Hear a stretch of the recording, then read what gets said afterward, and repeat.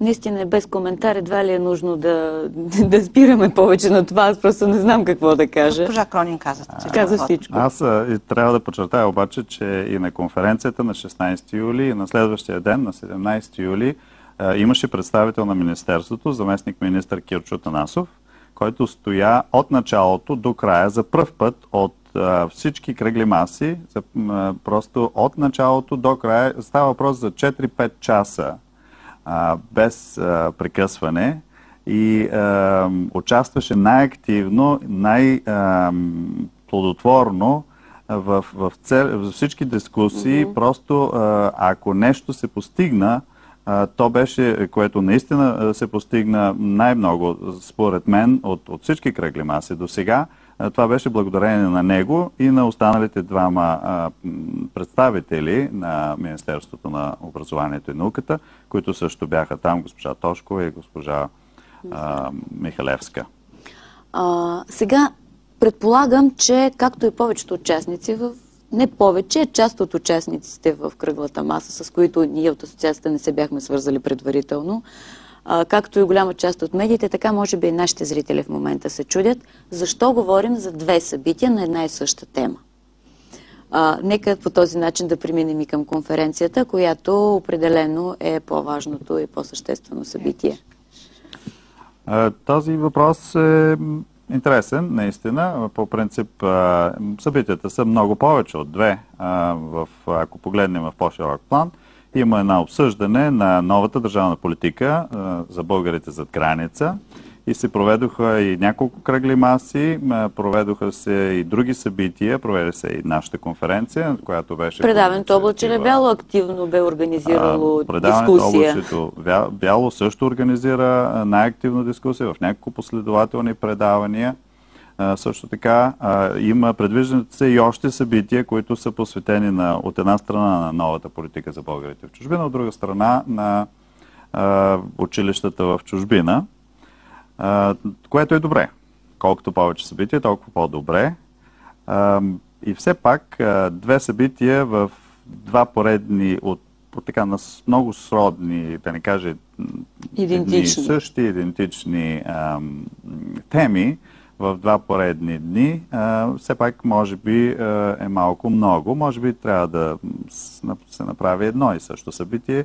Едно събитие. Което така, може да, да продължи два дни. Ще има какво да се говори. Точно така. Става въпрос за по-голяма координация.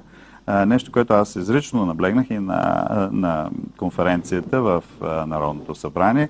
Трябва да има държавно-обществен подход. подход.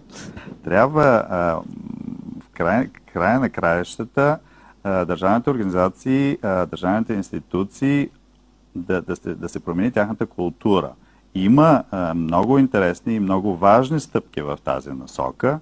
Например, с Министерството на образованието обсъждаме в момента една национална концепция за образованието на българите в чужбина. Но на по-високите Но нива... обсъждаме, обсъждаме я, защото половин година много настъпателно се опитвахме да... Една година. Една година, да. Цяла година. Миналото лято. Почти, да. да. Се опитваме да. Тоест да никой не ни е поканил къде сте там да влезем във връзка. Не, това е също така, но това е, това е ролята на всяка неправителствена организация, като нашата, като Асоциацията на българските училища в чужбина, да бъде е, настъпателна, да бъде в контакт, да упражнява натиск върху държавните институции, е, за да има. За да се постига това да съвместно, постига, съвместна точно, работа. Съвместна работа. За това става въпрос. В крайна краща никой от нас не получава някакви персонални изгоди за, за това, което правим. А, напротив, а, всичко е в името на духа, на българския дух, а, с който България винаги е била позната в света и с който би трябвало да остане. А, основната задача на конференцията, която организира Асоциацията на българските училища в чужбина, бе да убедим тези, които ни приеха в парламента, че приоритет на новата държавна политика за българите в чужбина трябва да бъде не завръщането на българите в България, както не е обявено официално, но от всичко личи, че това е основният приоритет, а именно българските училища по света, българските деца по света първо. А, защото ако не се погрижим за тях, няма да има кой да се завръща. Мислите ли, че успяхме? Че всичките тези 30 на учители от над 20 ли боя не бяха страни, Да. успяхме да ги убедим колко важно е това. Така ли? Да. А, аз мисля, че конференцията беше пълен успех. Самия факт, Извинявай, един само секунда. Уважаеми зрители, след малко ще пуснем един разширен репортаж от конференцията. Т.е. на репортажа ще имате възможност да чуете много хора, но първо искам да поговорим с нашите гости, защото те, за съжаление, ще трябва да напуснат студиото малко по-рано. За това. значи, по наша преценка, още в последните дни, в най-така подготовката, най-напрегнатите моменти на Моменти. подготовка на конференцията, разбрахме, че нещата а, стават много сериозни с а, заявеното участие. От страна на българските учители в чужбина. първо страна на българските учители в чужбина, на представители на българските училища в чужбина, на представители на пресата, на представители на различните университети, издателства, хора, организации. неправителствени организации, изобщо на цялата общественост. Тоест списъка, който ние подготвихме, надхвърли мисля, че около стотина бяха. Даже в последствие се появиха още хора, които не бяха включени в списъка и се оказа, че залата не може да побере всички. Това е така доста показателно за интереса, който бе проявен. Вероятно за това изигра роля и това, че конференцията се провеждаше под патронажа на господин Пирински, председател на, на Народното събрание, че бе обявено участието и на министър на образованието, господин Вълчев, със съжаление само а, господин Кирчо Атанасов беше, но той свърши много а, важна работа. А, господин Местан, председател на Комисията по образованието и науката, много депутати, които са свързани директно с Най-вече този от проблематика. по образование, комисия, но да, и представители които- на евродепутати имахме. така, които също съдействаха много за осъществяването на тази конференция. Искам да им благодаря искрено за това, че така здраво застанаха зад нас. И освен това, след като видяха и това, което ние презентирахме, особено първата сесия, в която бяха представени а, няколко от основните а, български училища а, зад граница, Най-силните, да кажем така, най-утвърдилите така, се. мисля, че направихме огромно впечатление на хората от Народното събрание и изобщо на, на гостите. А, това пролича и в разговорите в почивката.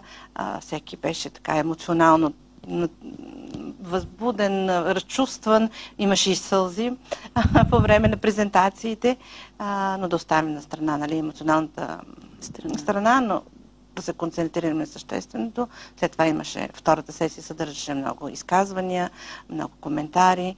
А, министър а, Атанасов беше много... Заместник министър. заместник, заместник министър беше много а, активен, записваше всичко. Всичко се записваше, да, и на Което ми дава впечатление на да те- беше да. изписал един тефтер. И на другия ден, когато беше кръглата маса, той взе по много тези въпроси отношение, вече явно беше... Фактически той размислил. направи връзката между тези две събития, нали така? Което- Той, е- то, реално това, Това беше, беше връзката. човекът, който А и връзката... Да. Да, този мост. Мост. Да не Това стане две, а стана всъщност едното стана продължение на другото.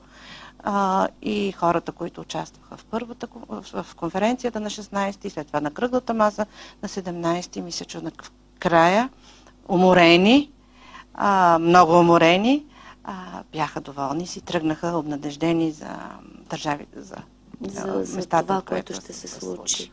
Бояне, Господин Атанасов също така осъществяваше връзката с, с учителите, връзката, непосредствена връзка с учителите. Той има богат опит в това отношение, също така и връзката с неправителствените организации. Значи това, което беше същността на една кръгла маса, това, за което всъщност се провежда една кръгла маса, което беше много важно.